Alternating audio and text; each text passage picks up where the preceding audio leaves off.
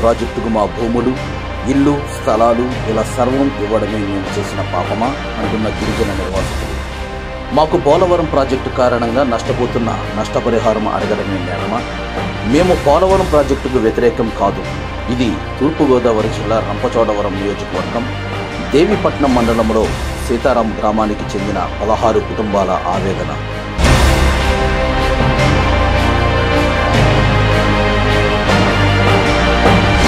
కనీసం ఇంటి స్థలాలు కూడా కల్పించకుండా అన్యాయంగా మమ్మలను ఎక్కడి నుండి ఖాళీ చేయించడం న్యాయం కాదంటూ ఆవేదన.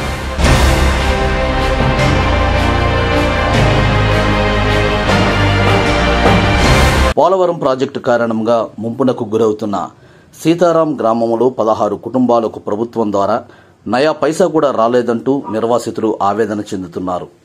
గ్రామంలో పదహారు కుటుంబాలు లబ్ధిదారులు మాకు నిలవనీడ చూపించి పదహారు కుటుంబాల గృహాలను పడగొట్టాలని రెవెన్యూ అధికారులు నిలదీసి ఆ గృహాలను పడకుండా ఆపడం జరిగింది. గ్రామానికి చెందిన పలువురు మహిళలు మాట్లాడుతూ పోలవరం ప్రాజెక్టుకు మా గిరిజన గ్రామాలు అయినటువంటి ఎనభై నాలుగు గ్రామాలు ముంపునకు గురవుతున్న విషయం అందరికీ తెలిసిందేనని అదేవిధముగా తరతరాల నుండి ఈ గ్రామంలో నివసిస్తూ ఉంటున్నాము. అయినప్పటికీ మేము అర్హులము కాదు అన్నట్టు ఇక్కడ ఉన్నటువంటి రెవెన్యూ అధికారులు మమ్మల్ని బలవంతంగా భయపెట్టి బెదిరించి భయభ్రాంతులకు గురి చేస్తున్నారని ఆర్ఎండ్ఆర్ గృహాలు నిర్మించకుండా నిలువు నీడ లేకుండా ఎక్కడికి తరలిస్తారు అంటూ నిర్వాసితులు ఆవేదన చెందుతున్నారు. ఈ ఊర్లో సంబంధించిన ఒక వ్యక్తి నేను అది టీ పర్ల టీ ప్యాకేజ్ పట్టదనుకోండి కొట్టేసుకోండి. నాకు ఆల్రెడీ నీడ చూపించి మేము వద్దన్నాం. మా మందికి సంబంధించిన అమౌంట్ కానీ వాళ్ళ ఇల్లు కానీ అన్నీ కట్టించేసి మీరు కొట్టేస్తాం మేము కాదన్నా. అది అడుగుతున్నాం మేము తప్పకుండా మీరు వచ్చి. చాలా తప్పది మేము లోపల ఉంటే పొడిచేసి వెళ్ళిపోండి సార్ మాకు అభ్యంతరం లేదు మేము లోపల అదే కాదు మా- ఆ- ఆ డ్యూటీ కాదు, పడగొట్టాలి. ఏం లేదు సార్ మాకు వచ్చి ఈ డ్యూటీ పడగొట్టాలి. మాకు లోపల అంతం చేసి ఇచ్చేసి కొట్టేసుకున్నాం. మాకేం కాదు. న్యాయం చేయాలి అంతే. నేను దెబ్బలాడతలేదు సార్. మాకు వచ్చి కాంపన్సేషన్ ఇచ్చేసి పడగొట్టండి. యాక్ట్ అకౌంట్ నేను మాత్రం డబ్బులు కానీ కమిషనర్ ఎప్పుడు డిస్కౌంట్ శాంక్షన్ దానికి ఏ ఒక్కరికి కూడా డబ్బులు రాలేదు ఉండదు ఇక్కడ గ్రీవెన్స్ పిటిషన్స్ ఏదైతే చెప్పారో అవి పెండింగ్ ఇస్తే పెండింగ్ సార్, అది ఈవెన్ ఫిట్టింగ్ అనేది ఇంచుమించు ఐదు సంవత్సరాల మీద అదే పిటిషన్ ఇస్తున్నాం. మీ తర్వాత ఎంఆర్ఓ గారు వెళ్ళారు. ఆ ముందు ఎంఆర్ఓ గారు వెళ్ళారు. ఆర్టీఓ గారు మారిపోయారు. శ్రీనివాసం ఆదిత్య గారు వెళ్ళిపోయారు. కొత్త ఆయన వచ్చారు ఆ దీవ అయిపోయారు అతను వల్ల అక్కడ వెళ్ళిపోయారు మరి ఏం చేయమని చెప్పండి. మేము రికార్డెడ్ మాకేమీ ఇవ్వట్లేదు సార్ మీరు. ఏం రికార్డెడ్ అందరూ మేము ఆపట్లేదు సార్. చేస్తున్నా. చేస్తున్నా. ఇస్తారో వాళ్ళు కొట్టేసుకోండి. మేము.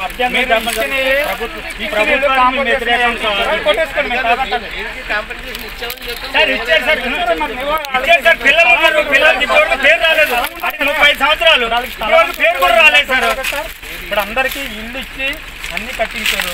ఇప్పుడు ఇప్పుడు ఒక- డేట్ అంటూ ఉంటుంది. గేటు ముందు పుట్టుకోలేదు సార్. ముప్పై ఐదు సంవత్సరాలు అంటే ఎప్పుడు స్టార్ట్ అయింది? ఇప్పుడు చెప్పండి సార్. మీరు మరి అది గేటు ముందు అన్నారు. చేయాలి. పెండింగ్ లిస్ట్లో మన ఎంక్వైరీ చేసుకుని వెళ్ళారండి. ఎంక్వైరీలో ఈ చేసుకుని వెళ్ళిన తర్వాత చెప్తామని ఏ విషయం మాకు చెప్పలేదండి. ఈ రోజు ఏమో వచ్చి పెండింగ్ ఉన్న వాళ్ళకి కూడా ఇల్లు పడగొట్టమని చెప్పారండి. అప్పుడు ఆర్డీఓ గారు పడగొట్టమని చెప్పారండి. ఈ రోజు వచ్చి పెండింగ్ ఉన్న వాళ్ళు కూడా ఇల్లు పడగొట్టేస్తున్నామని చెప్తున్నారండి. మేము ఎక్కడ ఉండమండి పిల్లలు తల్లిదండ్రులు చిన్నపిల్లలు చెట్టు దగ్గర ఉండమంటారు సార్ మమ్మల్ని? మేము ఎవరికి చెప్పుకోమండి? అధికారులు చెప్పుకుంటే అధికారులు తీసుకెళ్ళి బొక్కలు వేస్తామని చెప్తున్నారండి.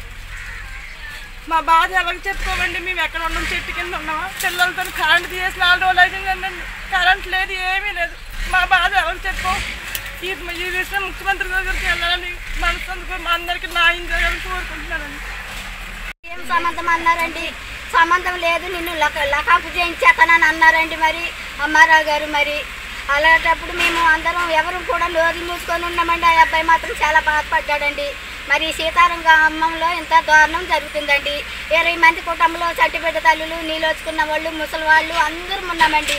మాకు చెట్టు కింద ఇతర కింద చూస్తున్నారండి. చెట్టు మీద పచ్చి కన్నా ఆదరం ఉంది కానీ మాకు ఆదరం లేదండి. మరి ఏం చేస్తారో మళ్ళీ ఎలా చేస్తారో మాకు ప్రాజెక్టు పడలేదు మాకు. ఆరాధి ప్యాకెట్ పడలేదు. మాకు ఈ ఇల్లు కూడా లేవండి.